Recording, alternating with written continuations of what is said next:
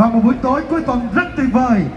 Và chào mừng tất cả quý vị và các bạn đã cùng đến với showcase của bộ phim điện ảnh Lật Mặt Bảy, một điều ước. Nằm trong khuôn khổ của liên hoan phim quốc tế lần thứ nhất thành phố Hồ Chí Minh của chúng ta năm 2024 và ít phút nữa thôi thì chương trình chúng ta sẽ được sẵn sàng với món quà đầu tiên ngay trên sân khấu. Xin mời tất cả quý vị hãy cùng đến gần hơn với sân khấu của chúng tôi để chương trình sẵn sàng được diễn ra. Xin được cảm ơn rất nhiều.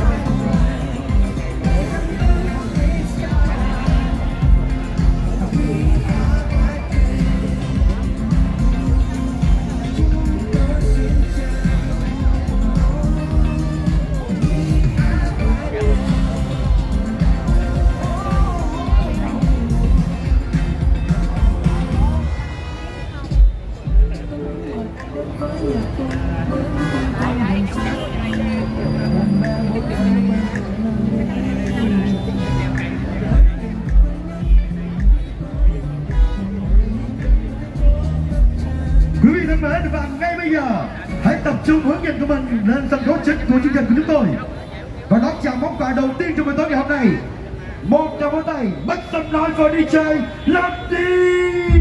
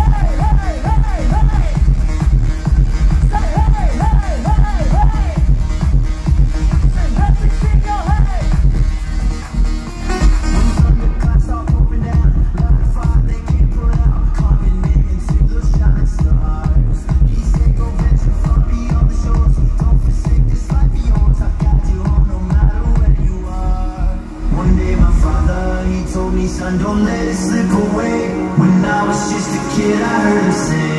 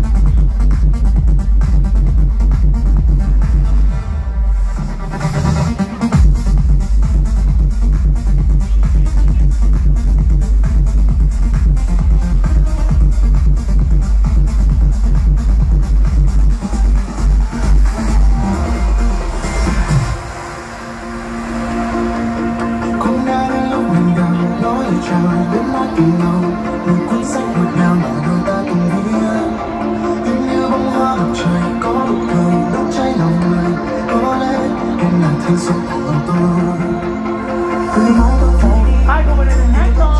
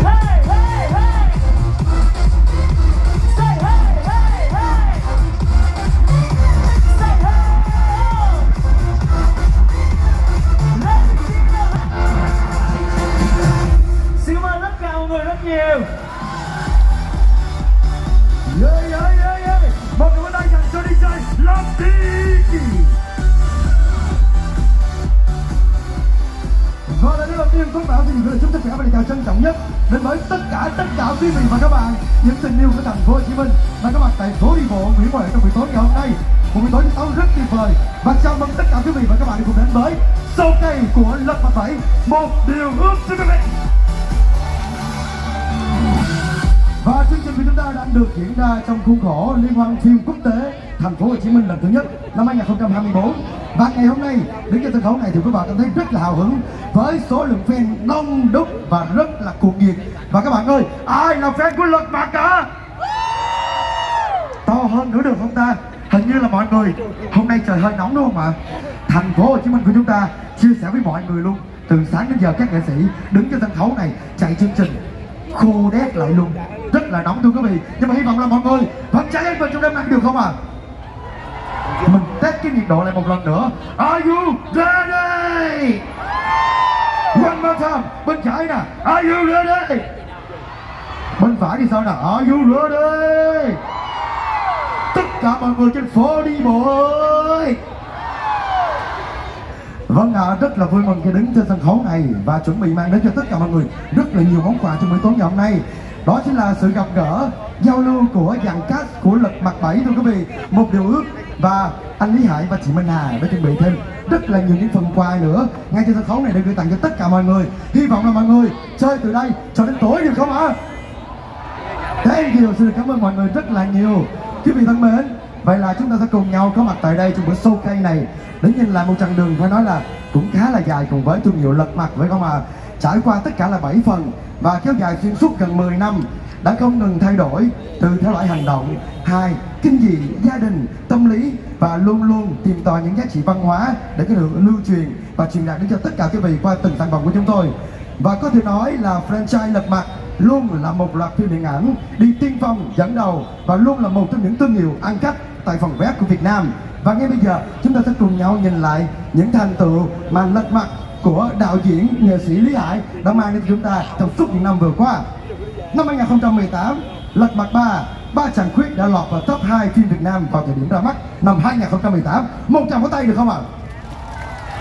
Và tiếp theo, năm 2019, Lật Mặt 4, Nhà có khách trở thành phim Việt có doanh thu cao nhất trong ngày chỗ tổ. Một tràng có tay cho sự tự hào này.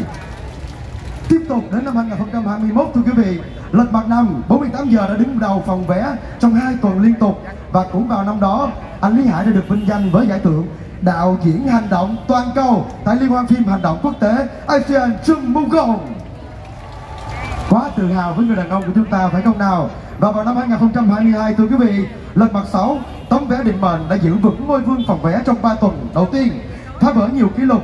Phim Việt có lượng bán vé cao trước nhất mọi thời đại và là phim Việt có số lượng vé bán trong 10 tiếng đầu.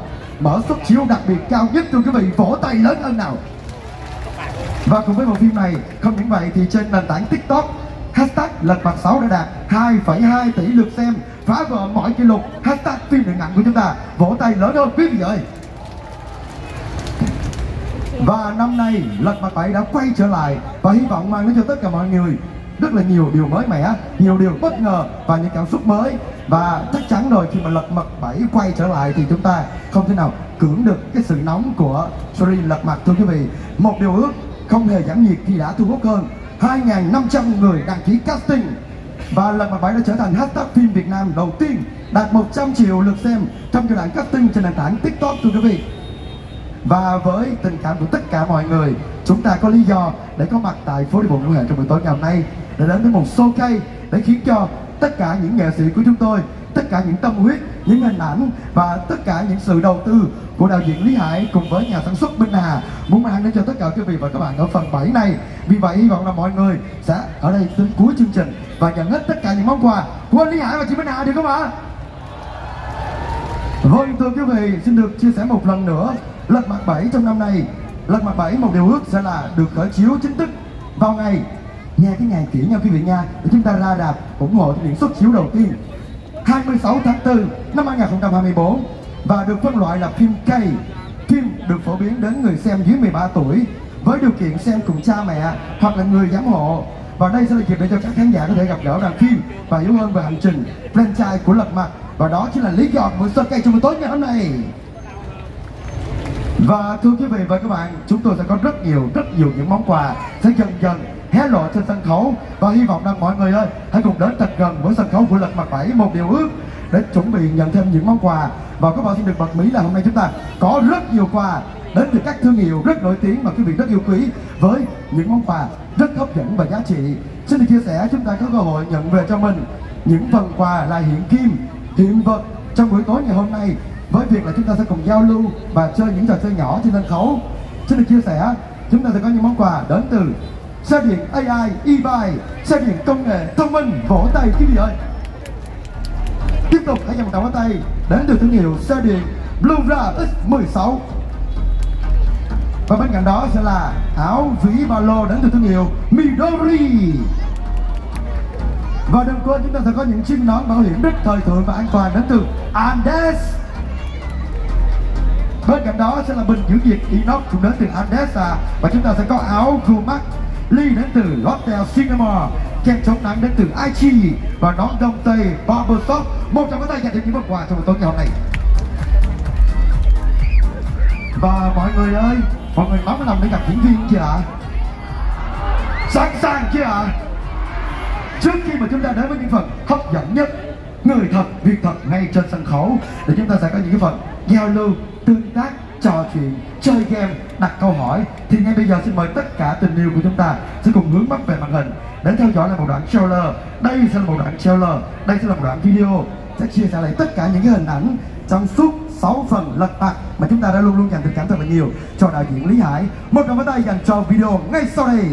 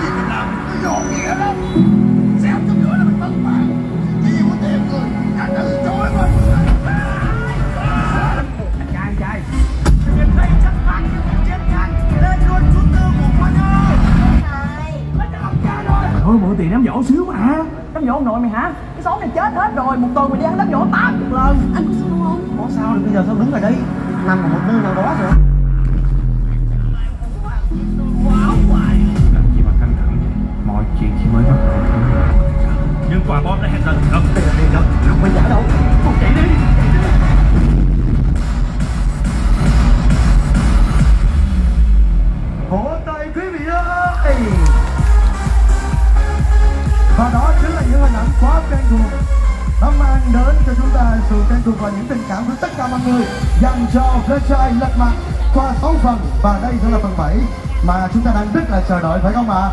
Và với thành công đó không thể nào thiếu được sự ủng hộ và tình cảm của tất cả mọi người với một hành động nhỏ của mình đó chính là mua vé cùng với gia đình bạn bè người thân của mình để ra đạp vào những cái dịp rất là quen thuộc anh Lý Hải sẽ luôn luôn chọn để gửi đến cho tất cả mọi người những sản phẩm ra mắt của mình. Đó chính là vào ngày lễ 30 tháng 4 1 tháng 5 của Việt Nam chúng ta. Một tràng pháo tay dành cho đại diện Lý Hải được không ạ? Và quý vị thân mến, với sự thành công đó, không thể nào không gửi lời cảm ơn đến với các đối tác, các anh chị đại diện cơ quan truyền thông và các trang mạng xã hội, các anh chị diễn viên cùng toàn bộ ekip thực hiện phim và đặc biệt là nhờ vào sự yêu thương của tất cả quý vị đã có mặt trong buổi tối ngày hôm nay tại phố đi bộ Nguyễn Huệ. Và khi mà đứng trên sân khấu này thì các bạn cảm thấy là rất là tự hào khi được đồng hành cùng với Lý Hải và đoàn phim của mình mang đến cho mọi người một cái buổi show cây rất đặc biệt. Vì vậy quý vị đừng bỏ lỡ qua khoảnh khắc nào trong buổi tối ngày hôm nay. Và đây sẽ là khoảnh khắc như vậy một món quà tiếp theo chúng ta sẽ cùng đón chào sự quay trở lại của DJ Lovely cùng với những nghệ sĩ tiếp theo. Và chúng ta sẽ cùng nghe lại một cái ca khúc OST khá là quen thuộc trong lật mặt năm 48 giờ. Đó chính là ca khúc Rap Say. Một tràng pháo tay để cùng đón chào sự xuất hiện của DJ Lovely, Gon Kaki và Cao Phương Thủy xin mời.